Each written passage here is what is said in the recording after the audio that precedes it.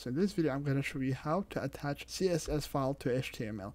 So now I have some buttons. So I have three buttons here and I have some basic styling applied to these buttons. I'm going to show you how to create a basic CSS file. So I'm on VS Code and uh, on VS Code go to File and then we are going to go to New Text File and right here I'm going to change the language of this so I'm going to click on language and I'm going to say CSS so as you know it's a CSS file so I'm gonna go to file and then save.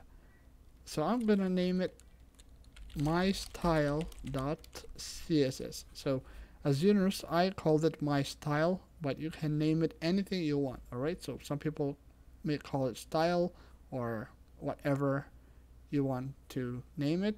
Just give it a name alright and make sure that you remember this name. So I'm gonna click on save and I have my CSS file here. So now we are ready to move the CSS from the HTML document to our CSS file. So you see inside of the style tag I have some embedded CSS so what I'm gonna do is I'm going to select everything between those tags alright? So you see I'm inside of the style tag and I'm going to select everything except the name of the tag. Alright and I'm gonna press Ctrl X to cut it or I can just right click and go to cut. So as you notice now we have no styling applied to our HTML file because we don't have any styling at all. So I'm gonna get rid of the style tag because we don't need it anymore. And right here we are going to move that CSS here. So I'm gonna paste it here. So right click and paste. So you see I have my CSS inside of the CSS file and I'm going back to my HTML file. And let me zoom in so you can see it better. So now we are still in the head but we have got rid of the style tag.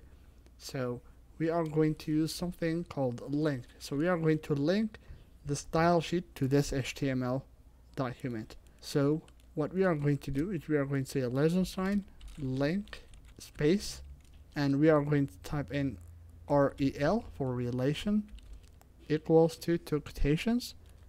And then what is the relationship? Well, it's style sheet, alright? So the relationship between these two files is a style sheet and then we are going to add one more space we are going to type in href equals to two quotations. So between these two quotations you are going to add the name of your css file. So in my case i named it my style dot css all right as you notice right now my style has been applied to my html elements.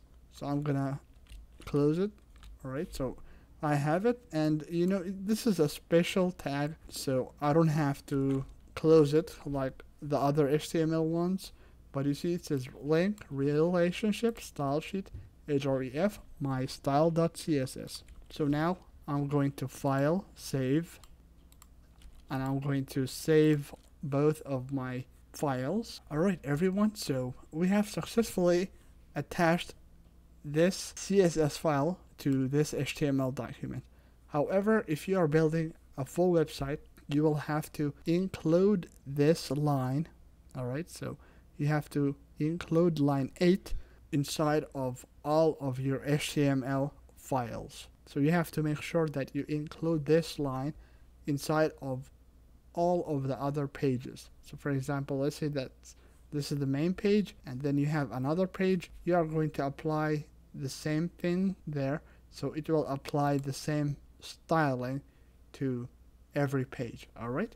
So I hope this video was helpful. Don't forget to like the video and subscribe to my YouTube channel